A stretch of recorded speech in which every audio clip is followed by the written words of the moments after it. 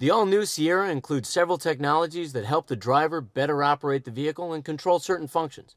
Plus, the rear vision camera helps avoid mishaps by displaying the area behind the truck in the 4.2 inch or 8 inch radio display. When used in combination with available rear park assist, the display shows distinct rear zones marked by triangles to help the driver avoid obstacles or back up to a trailer.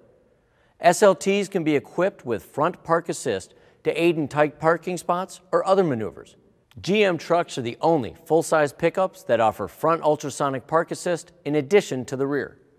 The 3.5-inch monochromatic driver information center on the base Sierra provides warning messages and basic vehicle information.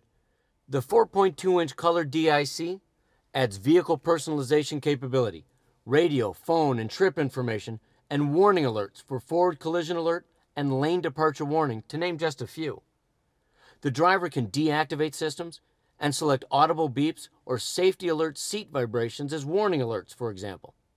This up-level DIC also displays IntelliLink information and allows for control of some IntelliLink functions through the steering wheel controls.